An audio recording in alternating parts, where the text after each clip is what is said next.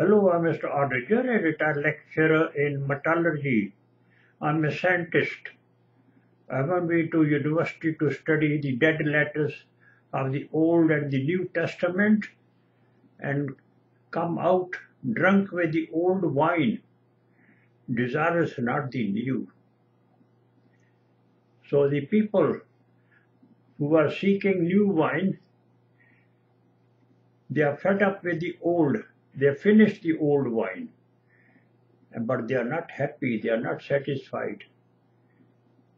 And they are looking forward to the new wine. And that's what Jesus did at Cana, at the marriage, when the people enjoying the marriage ceremony, all that, they were finished the old wine and they were not satisfied with that one and looking forward to more wine. And then Jesus gave them new wine. And that wine was given to the ordinary people and not to the theologian in the temple where they wanted to kill him, saltless people. So the gospel, which is the new wine, is for the ordinary person, shepherd, working in the field, looking after their sheep devotedly. It is for them and not for these hireling top-collar priests in the churches which work for money. And hypocritically, they say they are men of God.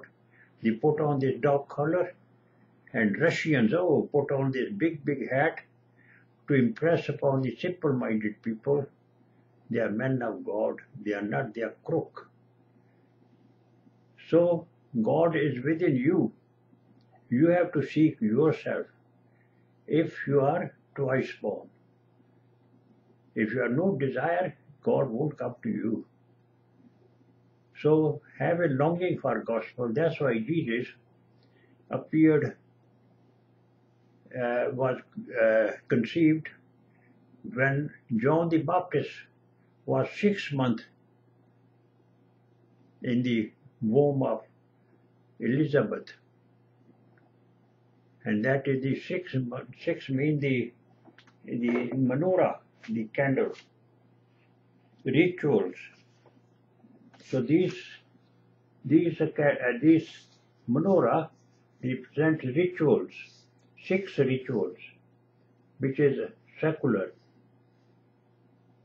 And this one is the Sabbath, where the money is not involved.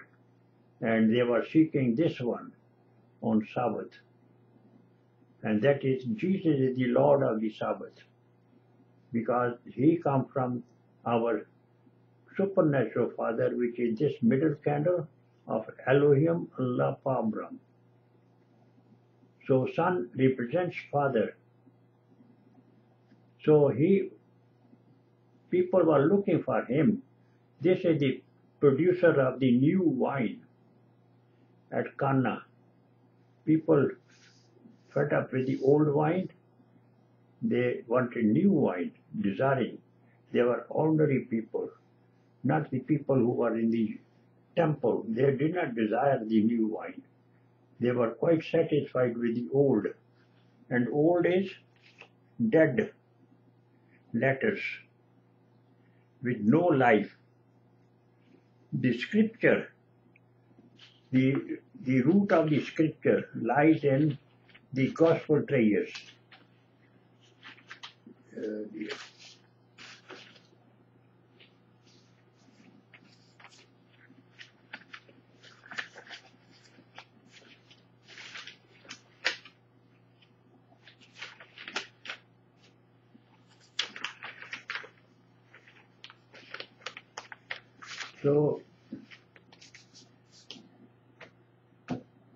if want the gospel says,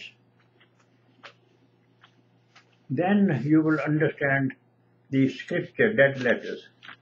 Without that knowledge, you won't understand it. You just apply the dead letters as the other people are doing. So here it is. So this is the uh, this is the root root, top root of the tree of life. Matthew 13 verse 52. That defines the whole thing scripture. He is the owner of a house who bringeth forth treasures, old, which is the scripture, which you can see, and is a corruptible, and the new, which is the top root. And that was missing among the Jewish rabbis, and Jesus came to deliver, and they did not like it. They love darkness, darkness to ply and to make money. They don't like light. Whereas the Samaritans, they were the faithful sons of Abraham and also Yahweh. They got this knowledge of the oral Torah, and their tree was green, and their laws were written over their heart, and not the dead books. So, people who go to universities and other places, you think they are people of knowledge. They know Christianity more than ordinary people, which is absolutely wrong. Ordinary person, if he uses his intuition, intuition, if he think over his heart, he will know better theology than the university people. So these doppler people, when they come to the church, they are antichrist. Because to get rid of these, Jesus died on the cross. And everyone has to make a direct approach to God, which is here. So here is John the Baptist, last prophet, Luke 16 verse 16. Prophets are those who are perfect in the moral law. And Samaritan was a nation of prophets. But they, the temple, the Jewish people, they rejected him as they rejected Joseph. They wanted to kill him and sold him as a slave to Egyptian. As soon as he left the promised land, the, it became barren because none was faithful to Abraham or to Yahweh. So they were tares, sons of Satan. So nothing was given to them, and they have to leave and work as a slave in Egypt. Egypt.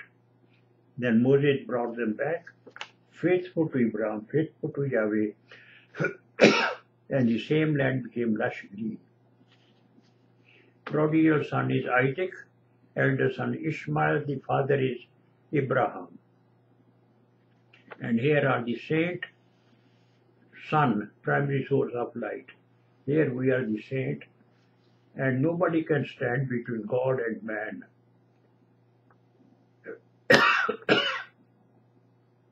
That's why the curtain of the holiest holy was torn on the death of Jesus. That was his purpose of coming into this world, that you have direct approach to God, and everyone has to give his own account to God. Nobody can give your account to God.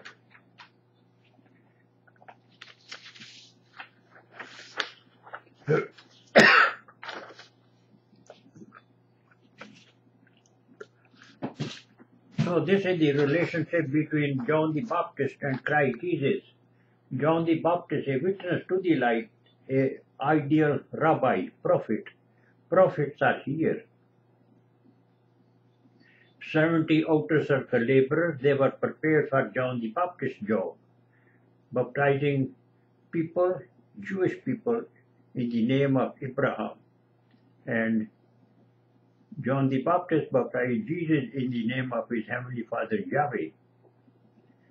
And these people who came here, they were sensible people because in the temple, the temple priests, they were making them Jew outwardly of appearance, not spiritual. They were making them Jews of dead letters. Uh, you can see them uh, arguing with each other, what is written here, what is written there, and making debates. So that is dead burying their dead. But those who are living in spirit, when they realize that when they become Jew outwardly, a physical self, then they break their covenant with Abraham. Because Abraham was not a Jew outwardly, he was of Semitic race. And here is our relationship between, here is Adam. Under Adam you have races. Under races you have tribes and so and so. So this planet Earth is for the habitation of the sons of Adam, salt of the earth.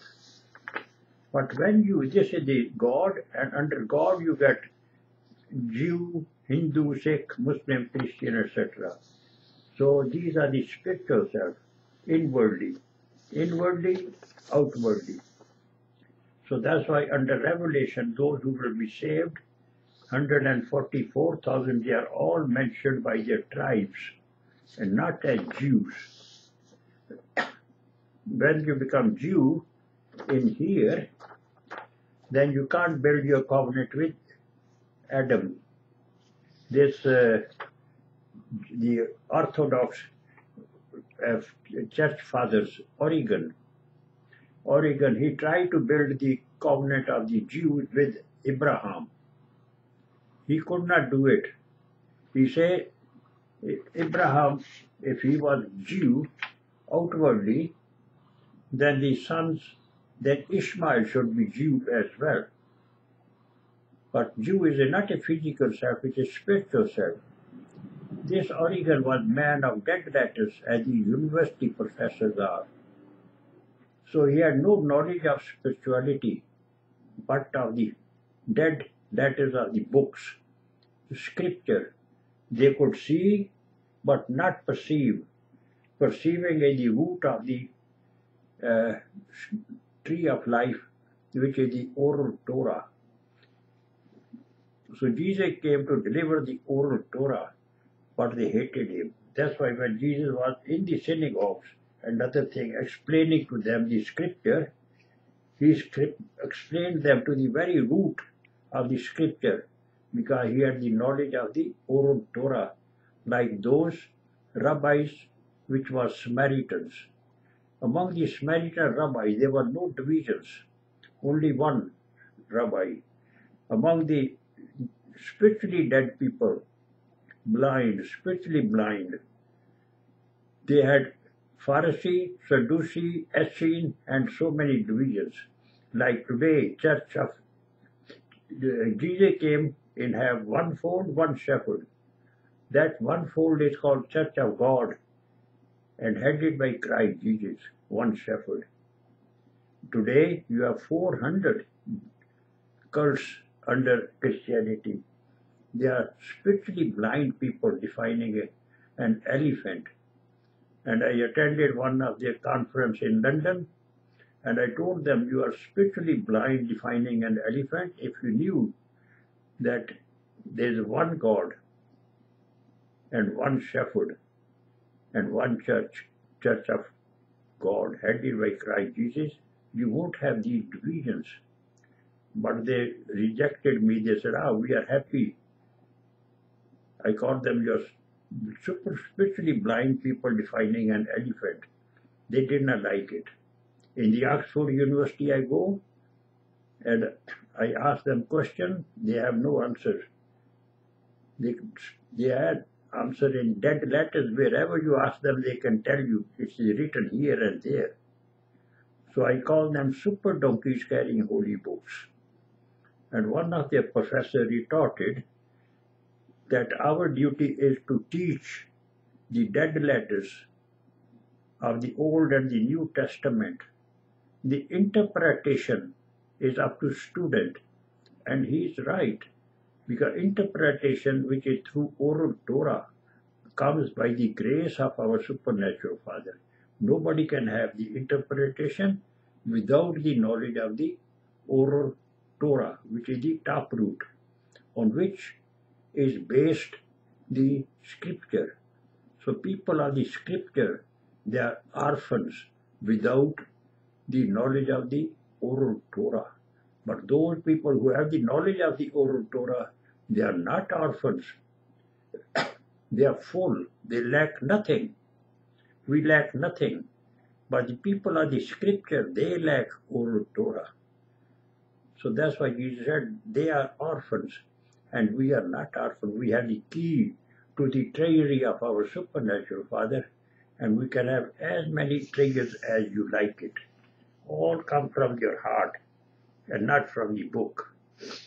So this is the situation at present which is happening. The, a Jewish man putting on the American flag and having sickle with the Jewish David's cross, and that is all he is causing bloodshed one after the other, because they are antichrist. They are not salt of the earth. They have nothing to do with Abraham or with Yahweh. They are men of dead letters, as the temple priests were. And I will give you an example of these one. This Lord Sacks, who died last November, he came to Oxford University to deliver a, give a lecture, and I was there. And uh, after the lecture, I asked him the question that a Jew is one who is inwardly spiritual, not outwardly physical. So not a single Jew died during the Holocaust. And to my question, he replied, a Jew is both spiritual and physical. So Jew is both spiritual and physical. That's what they were making in the temple at the time of Jesus. If he was a Jew or physical, you can't be both, you know, physical and Jew could be can't be physical and spiritual. Jew is a spiritual, but not physical. And uh, so not a single Jew died because physical self is born, physical self died. People of Judah tribe, Benjamin tribe, Levi tribe, they were born, they led by their blind guide. When the, when the blind guide leads the blind, they fall into the pit. And that pit was Holocaust. So you can't blame a third person. If they themselves are to blame who are following a blind guide. So this Lord Sacks, by proclaiming to be Jew outwardly, he became anti-Semitic himself because he can't build his covenant with Abraham when he is a Jew outwardly. If he was Abraham was not a Jew outwardly, otherwise people of Ishmael should be Jew as well. Jew is a spiritual self and not the physical self. So over there, about hundred and so professors were sitting there and none of them was, you know, curious, but all looked at me as an odd person asking a silly question. So this is what you reject, see from these people of dead letters. Sorry for my little cough. So here I have something written and I will go through it and we will see and how we go. Jewish people complain about anti-Semitism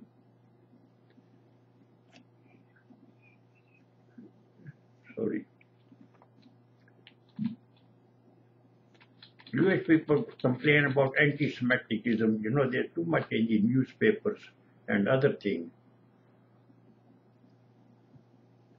But they themselves are anti-Semitic. They can't build a covenant with Abraham if they are Jew outwardly. They are the chosen people of Yahweh.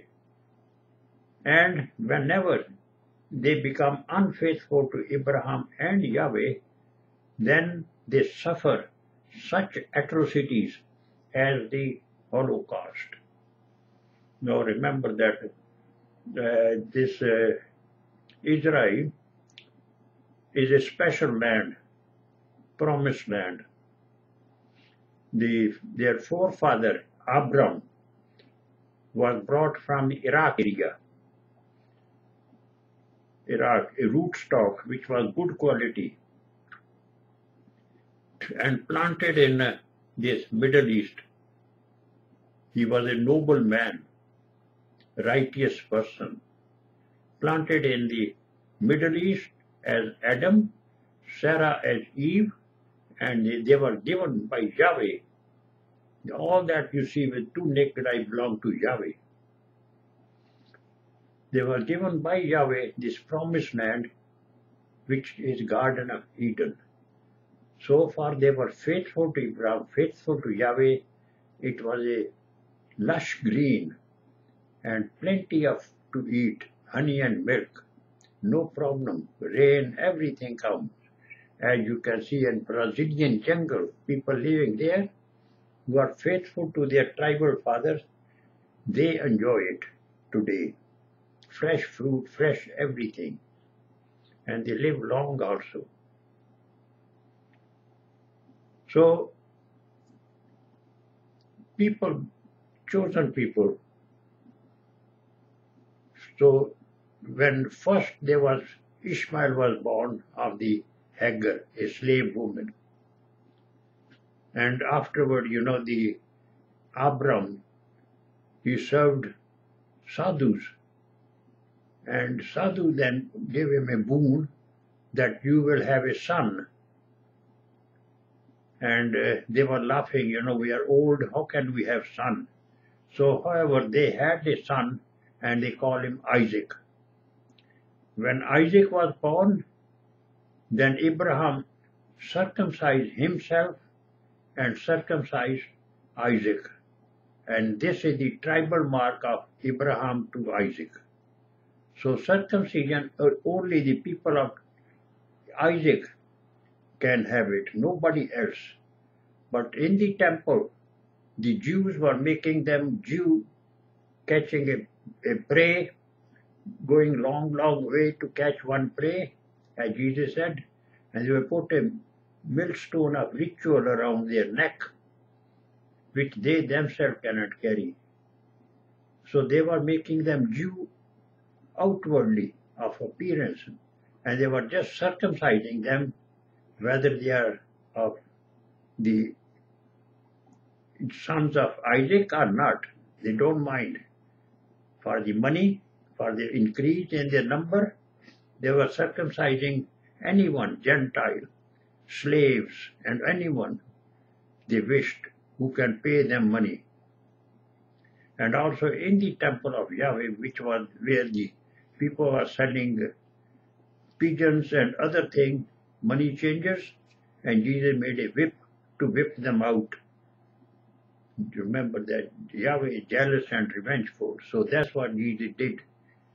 Out of a jealousy or zeal, that this my father's house is misused by these temple priests.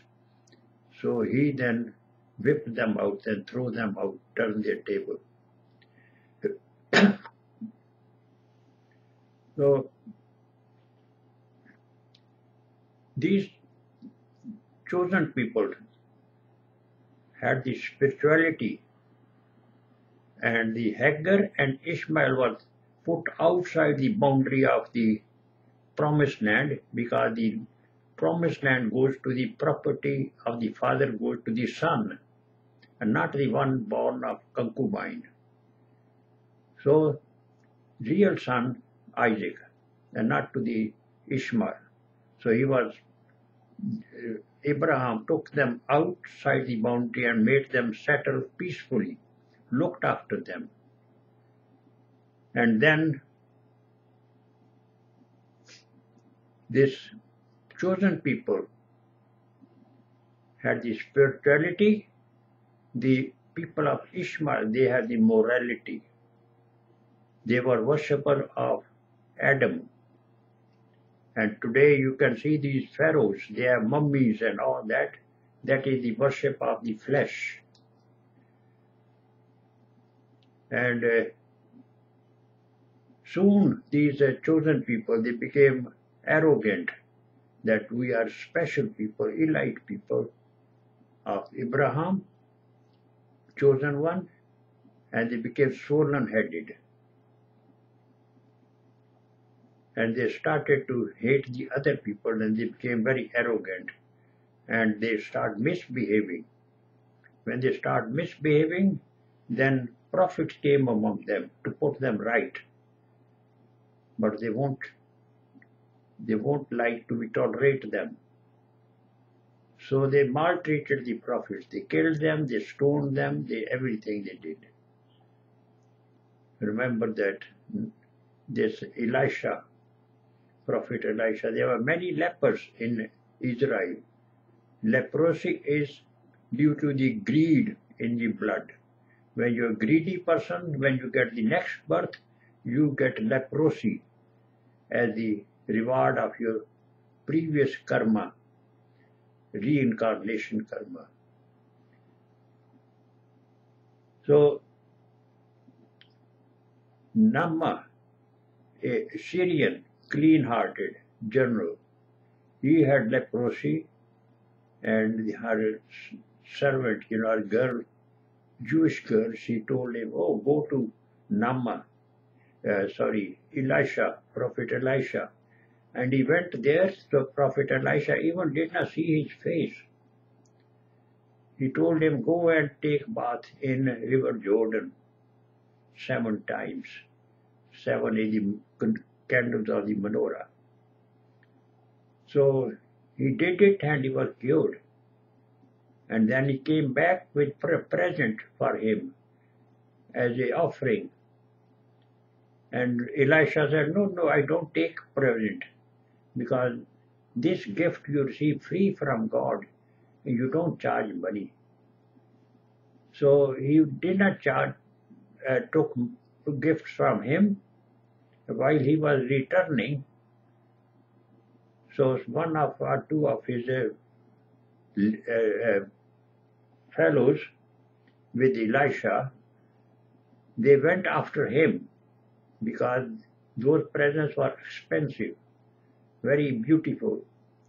So their eyes, they start, you know, looking for them. So they went made excuses and got that present from him.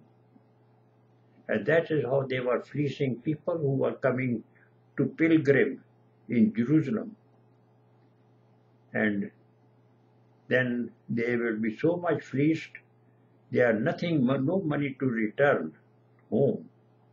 Then they will go to Saint James the Just to, to tell him the story that this rabbi had cheated me.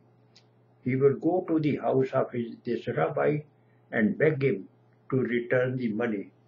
And they will return him. And they were fed up with him that we cheat people and this man come and beg us to return the money because he knew their secret hypocrisy. So they killed him in 62 AD for that reason. So what I mean to say is that these people, chosen people, they are very stiff-necked even today. If you want to talk to them, they turn their back towards you. And uh, I go to their stall sometime and I talk to them, they turn their back. I tell them, no, you are getting bundled up in Israel for final burning which is going to take place soon. And then they turn their face towards me. So you have to be outspoken. The British, a nation of shopkeepers, they can't preach gospel. So it is me, I'm a Jat of Jat tribe from Punjab.